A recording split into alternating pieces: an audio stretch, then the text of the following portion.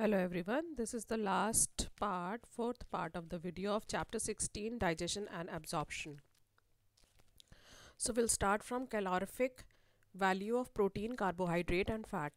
जो भी फ़ूड हम कंज्यूम करते हैं उससे हमें एनर्जी मिलती है और इस उस एनर्जी को हम किस किन टर्म्स में कैलकुलेट करते हैं कैलोरी और जूल के टर्म्स में उनको कैलकुलेट हम करते हैं अच्छा ये टर्म्स कैलोरी और जूल जो है ये बहुत आ, टाइनी अमाउंट ऑफ़ एनर्जी है को रिप्रेजेंट करते हैं, इसलिए जो फिजियोलॉजिस्ट हैं, वो रिप्रेजेंट करते हैं एनर्जी के यूनिट को फ़ूड से जो एनर्जी लिब्रेट होती है, उसको किलो कैलोरी और किलो जूल में उसको डिनोट किया जाता है।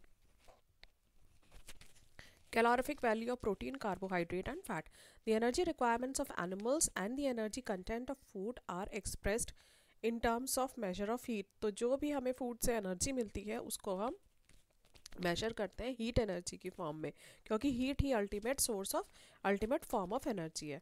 और हीट को कैसे मेजर करते हैं हम? कैलोरी और जूल में। और ये कैलोरी और जूल कितनी हीट होती है? It is the heat required to raise the temperature of one gram of water by one degree centigrade one gram of water का temperature one degree centigrade increase करने uh, के लिए जितनी heat required होती है उसको हम one kilo sorry one calorie या वन जूल कहते हैं। ठीक है? देखिए, ये वाला जो टॉपिक है कैलोरिफिक वैल्यू ऑफ़ प्रोटीन ये रिसेंटली ऐड हुआ है एनसीईआरटी में तो मैंने एक पॉइंट कवर किया है एनसीईआरटी का तो इसलिए मैंने इसे भी इंक्लूड किया है। Since this value is tiny amount of energy physiologist commonly use kilo calorie और किलो जूल तो ये बहुत टाइनी अमाउंट होता है, इसलिए किलो कैलरी और किलो जूल वर्ड यूज़ होते हैं। वन किलो कैलरी कितना होता है? It is the amount of energy required जितनी एनर्जी रिक्वायर्ड होती है वन के जी वाटर का टेम्परेचर वन डिग्री सेंटीग्रेड बढ़ाने में उसको हम कहते हैं वन किलो कैलोरी या फिर one kilo joule nutritionist traditionally referred to kilo calorie as the calorie और joule The amount of heat liberated from complete combustion of 1 gram of food in a bomb calorimeter is its gross calorific और gross energy value. अब देखिए एक term और है gross energy value gross energy value कितनी होती है? Amount of heat जितना अमाउंट ऑफ़ हीट लिबरेट होता है वन ग्राम ऑफ़ फ़ूड के कंप्लीट कंबस्टन के बाद, अगर उसका कंबस्टन हो बॉब कैलोरी मीटर में। तो इसको हम कहते हैं ग्रॉस एनर्जी वैल्यू अब एक दूसरा टर्म है physiological value physiologic value of food जो है, वो होती है एनर्जी लिबरेटेड जब वन ग्राम ऑफ़ फ़ूड का एनर्जी कंप्लीट कंबस्टन होता है तो उसमें जो हीट लिबरेट होती है, उसको हम कहते हैं फिजियोलॉजिक वैल्यू लेकिन इसमें से हम माइनस कर देते हैं जो हीट लॉस में जो एनर्जी वेस्ट होती है, उसको माइनस करके जो बचता है that heat is called as a physiologic value of food तो ग्रॉस कैलोरिफिक वैल्यू जो है, जो टोटल एनर्जी रिलीज़ होती है फ़ूड से वन ग्राम ऑफ़ फ़ूड के कंप्लीट कंबस्टन में तो ऑब्वियस ही बात है, वो ज़्यादा होगी in comparison to physiologic value of food तो कार्बोहाइड्रेट की ग्रॉस कैलोरिफिक वैल्यू है 4.1 किलो कैलोरी पर ग्राम और फिजियोलॉजिक वैल्यू है 4.0 किलो कैलोरी पर ग्राम प्रोटीन्स की है 5.65 kilocalorie per gram calorific value और फिजियोलॉजिक वैल्यू है 4.0 फैट्स की 9.45 कैलोरिफिक वैल्यू और फिजियोलॉजिक वैल्यू होती है 9.0 किलो कैलोरी पर ग्राम आगे हम देखते हैं अब्जॉर्प्शन ऑफ़ डाइजेस्टेड प्रोडक्ट्स की जो प्रोडक्ट्स जो बने हैं डाइजेशन के जो एंड प्रोडक्ट्स बने हैं वो किस तरह से एब्जॉर्ब होते हैं? देखिए, उनके एब्जॉर्ब होने के जो डिफरेंट मेथड्स हैं, वो हैं सबसे पहला तो है डिफ्यूजन डिफ्यूजन का मतलब होता है कि हाई कॉन्सेंट्रेशन से लो कॉन्सेंट्रेशन की तरफ़ जब मूवमेंट होता है पार्टिकल्स का, उसको हम कहते हैं डिफ्यूजन तो या तो डिफ्यूजन के थ्रू मूवमेंट होगा एब्जॉर्प्शन होगा फ़ूड पार्टिकल्स का, या होगा फैसिलिटेटेड डिफ्यूजन के फॉर्म में. फैसिलिटेटेड डिफ्यूजन के द्वारा किस तरह से हाई कॉन्सेंट्रेशन से लो कॉन्सेंट्रेशन की तरफ़ मूवमेंट होगा, लेकिन वो किसी ना किसी आयन चैनल के या फिर कैरियर प्रोटीन के थ्रू होता है। उसको हम कहते हैं फैसिलिटेटेड डिफ्यूजन दोनों में डिफरेंस देखिए डिफ्यूजन में simple movement from high to low concentration लेकिन फैसिलिटेटेड डिफ्यूजन में जो मूवमेंट हो रहा है हाई से लो कॉन्सेंट्रेशन में, वो या तो किसी कैरियर प्रोटीन के या फिर किसी आयन चैनल के थ्रू हो रहा है। एक दूसरी चीज़ देखते हैं एक्टिव ट्रांसपोर्ट एक्टिव ट्रांसपोर्ट का मतलब होता है जब लो कॉन्सेंट्रेशन से हाई कॉन्सेंट्रेशन की तरफ़ मूवमेंट होता है पार्टिकल्स का। तो जब ऑब्वियसली बात है, जब लो से हाई कॉन्सेंट्रेशन की तरफ़ हम मूवमेंट कर रहे हैं किसी चीज़ का या मूवमेंट हो रहा है तो उसमें एनर्जी की रिक्वायरमेंट होती है। तो A T P is the in the form of ATP energy is required for the active transport क्योंकि ये अगेंस्ट कॉन्सेंट्रेशन ग्रेडियंट हो रहा है। तो फ़ूड में कुछ सब्सटेंसेस ऐसे हैं जिनका ट्रांसपोर्ट या जिनका एब्जॉर्प्शन एक्टिव ट्रांसपोर्ट के द्वारा होता है।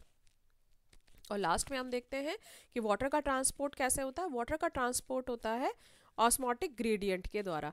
जैसे कि इस वाले डायग्राम में देखिए, इस वाले पर्टिकुलर पार्ट में वाटर का कॉन्सेंट्रेशन ज़्यादा है और यहाँ वाटर का कॉन्सेंट्रेशन कम है। ध्यान से सुनिए वाटर के कॉन्सेंट्रेशन की बात कर रही हूँ। मैं मॉलिक्यूल्स के या सोल्यूट पार्टिकल्स के कॉन्सेंट्रेशन की बात नहीं कर रही। इस टाइम में वाटर के कॉन्सेंट्रेशन की बात कर रही हूँ। बीच में रेड कलर से जो शो किया गया है, ये है सेमी परमिएबल मेम्ब्रेन तो वाटर का जहाँ पे ज़्यादा कॉन्सेंट्रेशन होगा, वहाँ से वो उस डायरेक्शन में मूव करता है जहाँ वाटर का कम कॉन्सेंट्रेशन है। देखिए, इस तरह से वाटर का मूवमेंट हो गया और दोनों तरफ़ कॉन्सेंट्रेशन अब इक्वल हो गया, क्योंकि वाटर यहाँ ज़्यादा था, वो इधर की साइड मूव कर गया थ्रू सेमी परमिएबल मेम्ब्रेन ठीक है, इसको हम कहते हैं कि ऑस्मोटिक ग्रेडियंट के आगे अलोंग वाटर का मूवमेंट हो रहा है। अब देखते हैं एनसीईआरटी थ्योरी में क्या लिखा है।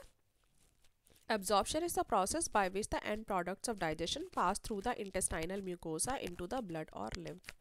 तो एब्जॉर्प्शन वो प्रोसेस है जिससे जो डाइजेशन के जो एंड प्रोडक्ट्स बने हैं, वो इंटेस्टाइनल म्यूकोसा से कहाँ पहुँच जाए? या तो ब्लड में चले जाएँ या फिर लिम्फ में चले जाएँ। आप रिकॉल कीजिए लिम्फ में किस चीज़ का एब्जॉर्प्शन होता है? फैट्स का एब्जॉर्प्शन होता है लैक्टील में मैंने बताया था आपको। बाकी सब मॉलिक्यूल्स का ब्लड में एब्जॉर्प्शन होता है। It is carried out by मतलब जो एब्जॉर्प्शन का प्रोसेस है वो किस तरह से होता है? या तो पैसिव ट्रांसपोर्ट से, या एक्टिव ट्रांसपोर्ट से, या फिर फैसिलिटेटेड ट्रांसपोर्ट से। अब देखते हैं किस मॉलिक्यूल का किस तरह से एब्जॉर्प्शन होता है। ग्लूकोज अमीनो एसिड्स और क्लोराइड आयंस इनका अब्जॉर्प्शन होता है सिंपल डिफ्यूजन से। ये जो मैंने यहाँ पे आपको तरीका बताया था सिंपल डिफ्यूजन से। इस तरह से किस किस का मूवमेंट होता है? ग्लूकोज अमीनो एसिड्स और क्लोराइड ये पॉइंट्स इंपॉर्टेंट होते हैं कि किस चीज़ का मॉलिक्यूल किस मॉलिक्यूल का किस तरह से ट्रांसपोर्ट हो रहा है, किस मैकेनिज्म से हो रहा है, ये इंपॉर्टेंट पॉइंट्स होते हैं। The passage of these substances into the blood depends upon the concentration gradient है डिफ्यूजन में जो मूवमेंट हो रहा है ठीक है, यहाँ पे डिफ्यूजन जब हो रहा है मूवमेंट हो रहा है, ये हमेशा कॉन्सेंट्रेशन ग्रेडियंट के अलॉन्ग हो रहा है मतलब हाई कॉन्सेंट्रेशन से लो कॉन्सेंट्रेशन की तरफ़ हो रहा है मूवमेंट इसीलिए यहाँ लिखा है कि passage of these substances into the blood depends upon the concentration gradients फिर देखिए however some substances like glucose and amino acids are absorb with the help of carrier proteins glucose और अमीनो एसिड का transport किस तरह से हो रहा है? कैरियर प्रोटीन्स के द्वारा हो रहा है, इस तरह से। मैकेनिज्म और इस मैकेनिज्म को हम फैसिलिटेटेड ट्रांसपोर्ट कहते हैं। ट्रांसपोर्ट ऑफ़ वाटर किस चीज़ पर डिपेंड करता है? मैंने यहाँ बताया था ट्रांसपोर्ट ऑफ़ वाटर डिपेंड करता है कॉन्सेंट्रेशन ग्रेडियंट पे।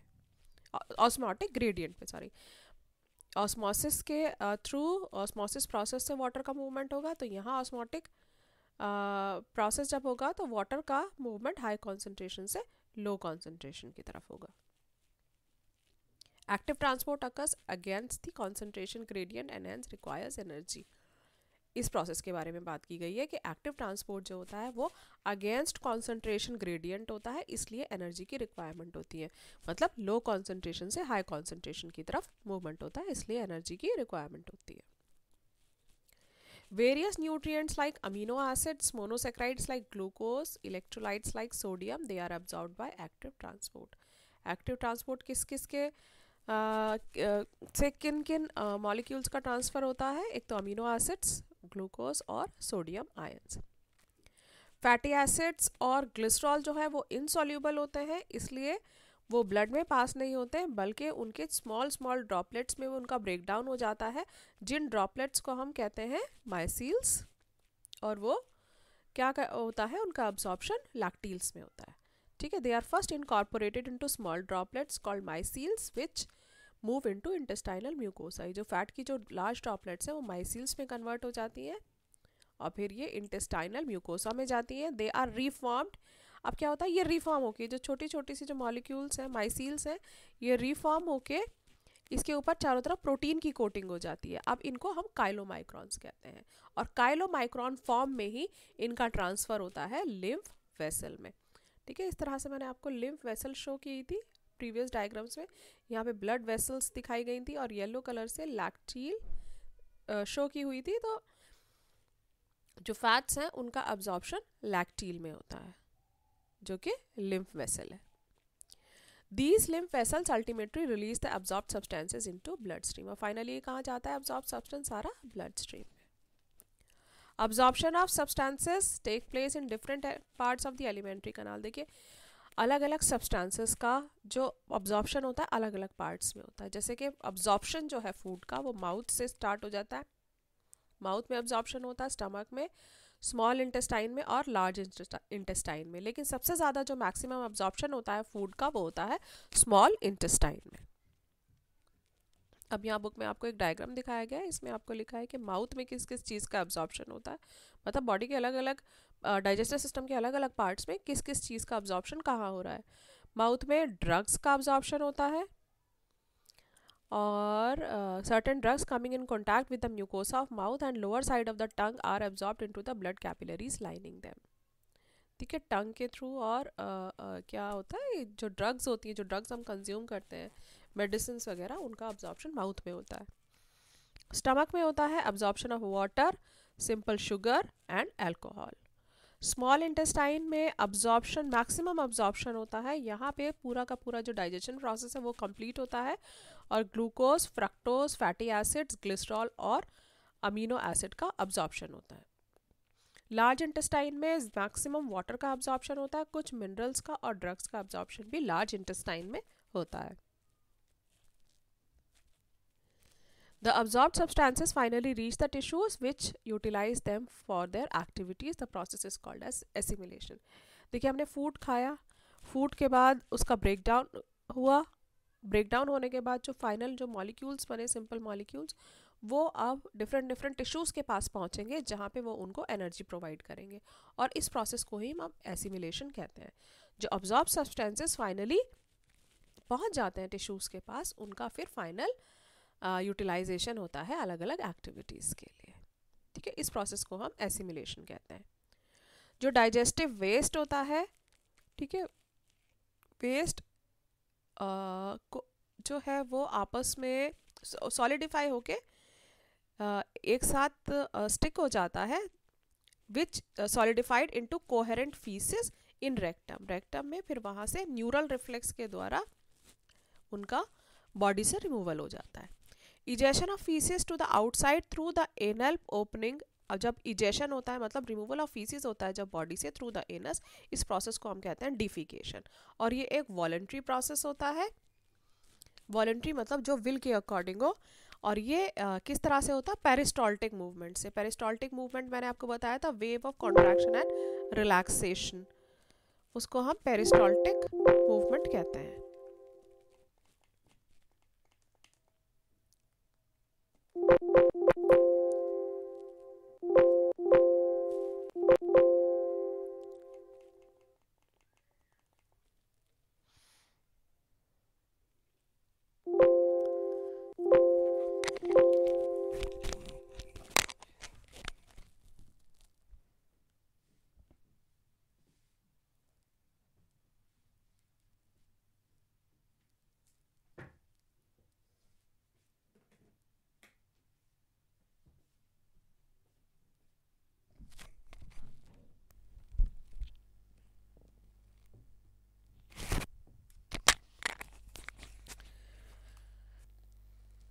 ठीक है तो हम बात कर रहे थे कि पेरिस्टॉल्टिक मूवमेंट के द्वारा जो डिफिकेशन का प्रोसेस है मतलब रिमूवल ऑफ़ वेस्ट का जो प्रोसेस है डिफिकेशन वो होता है।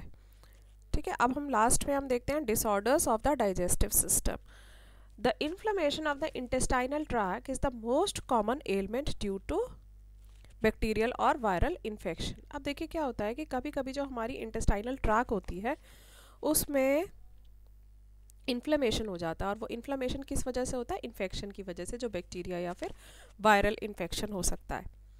फिर आ, ये जो इन्फेक्शंस हैं ये किस किस के द्वारा हो सकते हैं? या तो हो सकता है कि किसी कोई ना कोई पैरासाइट हो हमारी डाइजेस्टिव सिस्टम में जैसे टेप वर्म है roundworm threadworm hookworm और पिन वर्म इनके आ, ये जब इनहेबिट करते हैं रहते हैं हमारे डाइजेस्टिव सिस्टम में तो वो इन्फ्लेमेशन कॉज कर देते हैं इंटेस्टाइनल ट्रैक का। उसके बाद देखिए जॉन्डिस जॉन्डिस में क्या होता है? लिवर अफेक्ट होता है और स्किन और आइज़ जो है वो येलो हो जाती है due to deposit of bile pigments bile pigments मैंने आपको बताया था बिली रूबिन और बिली वर्डिन उनका एक्यूमुलेशन हो जाता है, वो डिपॉजिट हो जाती हैं और वो अपियर होने लगती है। स्किन में स्किन में और आइज़ का जो कलर है वो येलोइश होने लगता है। वॉमिटिंग वॉमिटिंग क्या होता है? जो स्टमक के जो कंटेंट्स होते हैं, उनका बाहर निकलना माउथ के द्वारा ejection of stomach contents through the mouth this reflex action is control by vomit centre और ये वॉमिटिंग को कौन कंट्रोल करता है? हमारा जो ब्रेन होता है, उसमें वॉमिट सेंटर होता है। ब्रेन का कौन सा पार्ट मेड्यूला मेड्यूला में वॉमिट सेंटर होता है, जो इस रिफ्लेक्स एक्शन को कंट्रोल करता है। और वॉमिट से पहले जो फीलिंग होती है वॉमिटिश फीलिंग जो होती है, उस फीलिंग को हम कहते हैं nausea A feeling of nausea precedes vomiting. Diarrhoea diarrhoea क्या होता है जब बहुत एबनॉर्मल फ्रीक्वेंसी में uh, जब बॉडी से वेस्ट एक्सक्रीट आउट होने लगते हैं डिफिकेशन होता है और जिसमें के जो फीसेस होते हैं उनकी लिक्विडिटी ज़्यादा होती है। Okay so abnormal frequency of bowel movement and increase liquidity of faecal discharge bowel movement का मतलब ये फीसिस की ही बात की जा रही है कि जब बहुत ज़्यादा एबनॉर्मली ज़्यादा फीसिस का रिमूवल होता है बॉडी से और वो लिक्विडिटी उनकी ज़्यादा होती है। तो इस कंडीशन को हम डायरिया भी कहते हैं या हैज़ा भी कहते हैं हिंदी में।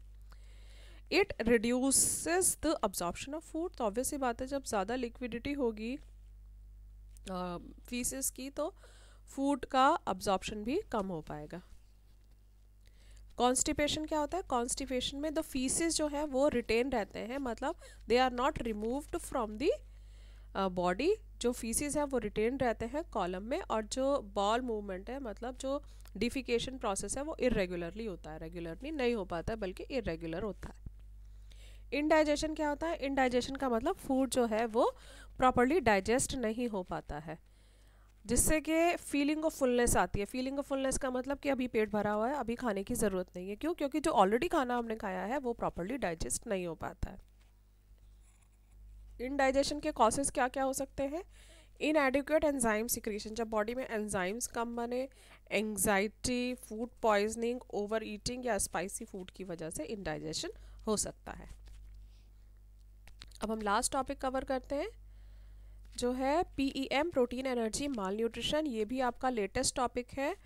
एन टी जो लेटेस्ट है, उसमें दिया हुआ है ये टॉपिक पी ई एम होता है protein energy malnutrition malnutrition मतलब कि जब किसी ना किसी न्यूट्रिएंट की कमी हो जाती है डाइट में फ़ूड में, उसको हम कहते हैं माल न्यूट्रिशन तो यहाँ पे हम बात करेंगे पी ई एम की प्रोटीन एनर्जी माल न्यूट्रिशन की. जब प्रोटीन की डेफिशिएंसी हो जाती है डाइट में और total food calories and total food calories are widespread in many underdeveloped countries जो अंडर डेवलप्ड कंट्रीज़ हैं, जैसे कि South East Asia South America West Central Africa वहाँ पे जो डाइट है उसमें प्रोटीन्स की और कैलोरीज की डेफिशिएंसी होती है और वहाँ के जो बच्चे होते हैं वहाँ के लोग जो होते हैं वो अफेक्टेड होते हैं पीईएम e से। ठीक है ये आप डायग्राम में देख देख सकते हैं। आ, ये अंडर डेवलप जो कंट्रीज़ है वहाँ पे प्रोटीन एनर्जी माल न्यूट्रिशन से सफ़र कर रहे बच्चों की ये पिक्चर्स हैं। और ये किस वजह से होता है? या तो ड्रॉट की वजह से ड्रॉट फैमिन की वजह से या फिर पॉलिटिकल डिस्टर्बेंस की वजह से पॉलिटिकल टर्मोइल की वजह से।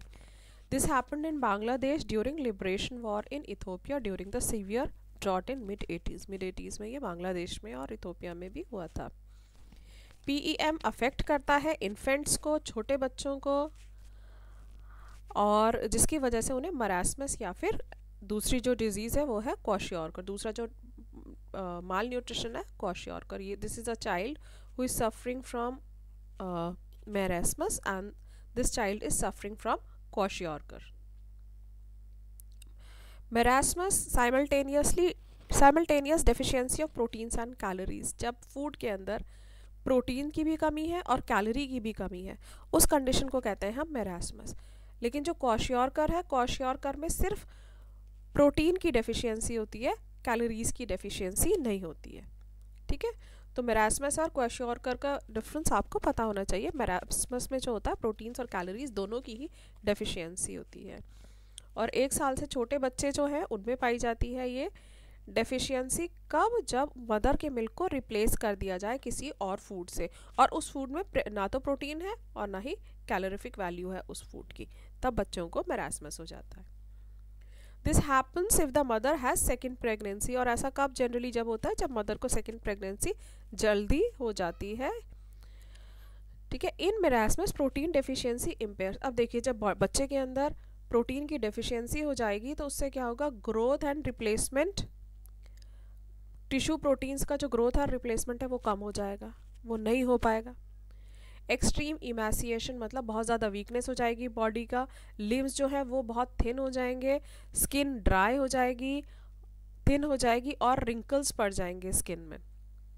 Growth rate and body weight decline body की, का ग्रोथ रेट भी कम हो जाएगा बॉडी का जो वेट है, वो भी कम हो जाएगा, जिसकी वजह से ब्रेन और मेंटल एबिलिटी जो है बच्चे की, वो भी अफेक्ट होती है। अब देखते हैं कॉशियार्कर में क्या होता है प्रो, प्रोटीन की डेफिशिएंसी होती है लेकिन कैलोरी की डेफिशिएंसी नहीं होती है कॉशियार्कर में।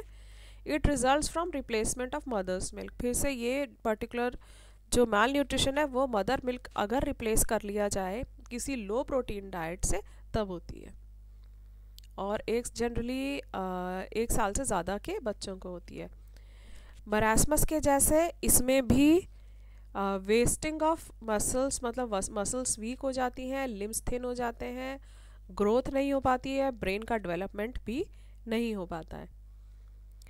मेरासमस में जैसे हमने देखा था, ये वाली कंडीशन में फैट का डिपोजिशन नहीं है बिल्कुल, लेकिन ये वाला जो केस है, जो कॉशियॉर्कर का केस है, इसमें आप देख सकते हैं फैट का डिपोजिशन है यहाँ पे बेली में।